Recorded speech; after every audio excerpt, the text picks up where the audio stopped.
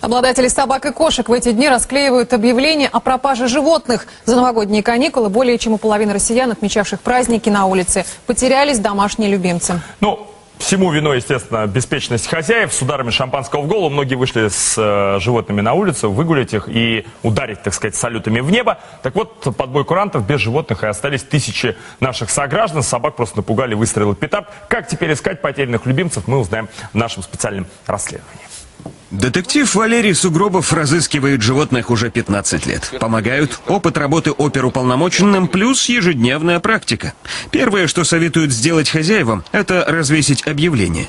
Значит, чем собака меньше, чем она пользуется больше спросом, чем она моднее, зависит от моды, тем она находится, конечно, сложнее. Потому что любой ее возьмет и не отдаст. В районе пропажи необходимо разместить особые приманки. Вещь хозяина, например, кусок рубахи или носок, нужно привязать к дереву на уровне роста животного.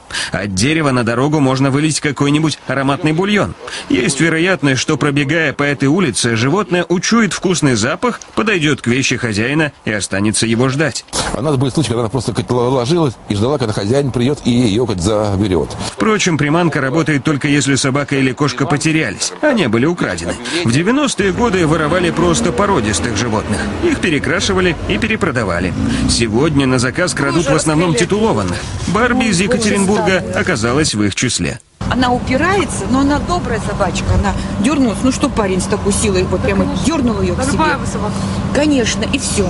Елена Шестакова свою любимицу искала 4 дня. Во время прогулки любопытная Барби забежала в магазин. На камере наблюдения видно, как один из покупателей уводит бесхозную собаку. Так с объявлением о пропаже появились фото предполагаемого вора. Молодой человек, хороший, добрый, умный, прояви благоразумие, верни мне мою собачку, мою маленькую девочку.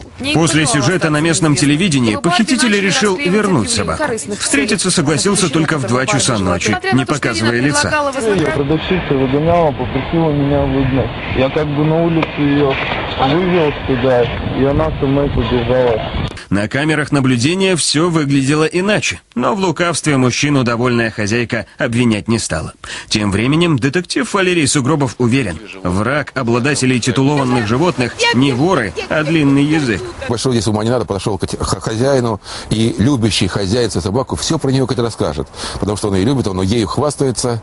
Вот это, конечно, идет на, ему во вред и на пользу жуликам. Кражи выставочных собак и кошек сегодня поставлены на поток. Интерес нацелен не на новые награды, а на возможность получить дорогое потомство. Ради этого воры готовы даже перебить у питомца клеймо. Ну а обладателям обычных собак и кошек специалисты советуют сразу бить тревогу.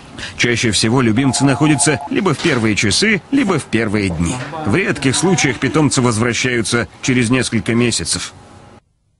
Вот если бы таких людей, как Валерий Сугробов, было бы побольше, Родион Газманов никогда бы не спел свою песенку про собаку Люси. Это было бы к лучшему. А у нас в студии Анна Древцова, хозяйка четырех собак, а к нам в гости она пришла лишь с двумя из них.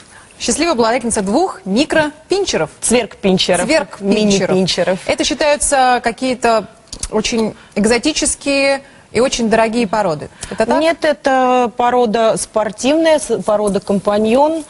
Ну, не очень пока распространенная у нас. То есть вы... С- Это спортивное, то есть на них можно и в упряжку. Нет, ну не- Я- для них существуют свои виды спорта. Например? Например, аджилити. Аджилити, что это такое? Красивое слово. Отжигу Означает. знаю, аджилити нет. Аджилити – это преодоление препятствий на время. Ага. Скажите, пожалуйста, а, ну, во всяком случае, эти, эти замечательные создания, они хотя бы похожи на собак, потому что есть же еще более маленькие А у дикари. вас они, кстати, есть, да, по-моему? Да, у вас есть у нас- да, это чихуа. Очень маленькая собачка. Да, это у них вес э, максимальный до 3 килограмм. Ну, совсем крохка. О, Почем удовольствие для любителей аджилити? Я вот... Э, Такой щенок такой породы стоит от 20 до 40 тысяч примерно. Рублей. А, Вот, да, рублей. А Вот. Чихуа, стоимость щенков доходит до 150 тысяч рублей. Скажите, а вы не боитесь их, Может, их больше. потерять? Они у вас чипированные, микрочипированные, Обязательно. клеймированные. Как это все Обязательно. происходит? Значит, э, для того, если вдруг собака потеряется, обязательно должно быть что-то на ней, чтобы можно было ее идентифицировать. Это клеймо, микрочип, Прекрасный на ошейник со Вот, да, и адресом. видите, обязательно адресник на ошейнике. Вот.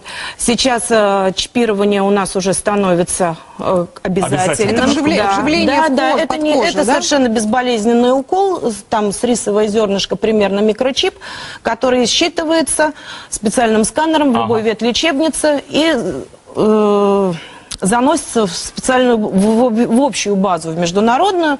Вот, то есть, если собака найдена человеком, которому не хочется ее оставить себе.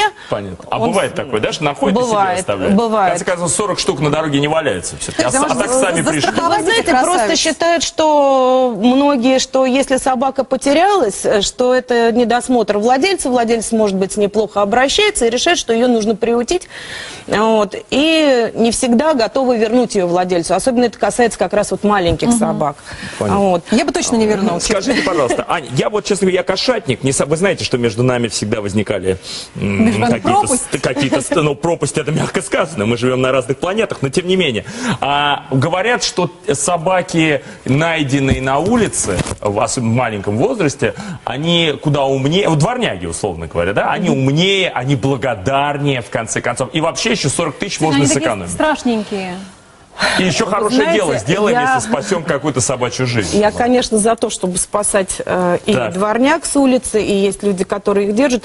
Но я м, почему люблю породных собак? Потому что когда я выбираю какую-то породу, Так. я заранее знаю размер, я заранее знаю характер, поведение этого животного. А если как бы вникнуть в это полностью, то вы покупаете совершенно то, что хотите купить. Но это все А равно вот. это вас не страхует от того, что собака может быть писючей, какучей, извините меня, а, с плохим характером, может куса- куснуть вашего маленького ребенка. Нет, ну почему? Многие покупают если, если вы серьезно к этому подходите, вы же узнаете, какие родители, вы узнаете, что стоит. Любой заводчик вам, ну, добропорядочный заводчик расскажет, что стоит за этой собакой. Ну, вот, э, почему, в общем-то, стоимость щенков возрастает, да, высокая, именно из-за того, что э, заводчик дает гарантию того, что э, собака, Ваша собака будет соответствовать тем да, параметрам породы. Понятно. И последний короткий вопрос. Страхуют наших э, вот таких дорогих собак в России? Или еще пока это такая практика не распространенная? Нет, есть э, страховые компании, которые страхуют, но методика еще не отработана, поэтому Ну, потому что дор- дорогое да, удовольствие. очень, очень сложно. Как машина. Господи, это мои старые «Жигули», естественно. Ань, спасибо, что пришли. Спасибо. Обязательно ждем вас еще раз в этой студии, потому что Могу собачьи остаться. темы огромные, а потом еще на, на кошечек перейдем. После рекламы расскажем, кому перелом руки грозит слабоумием и как при помощи авокадо и лимона сэкономить на салоне красоты. Вернемся быстро, будет интересно.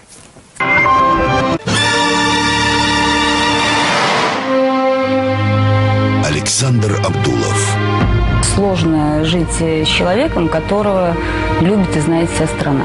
Народный артист, каким его знала, Он сидел, и, конечно, у него так вот слезы просто ручьями текли. любила Верила в то, что он должен жить в любом случае. и запомнит на всю жизнь только она.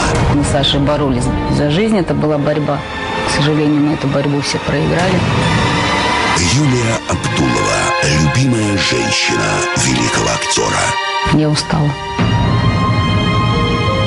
Очень устала. Исповедь после четырех лет молчания.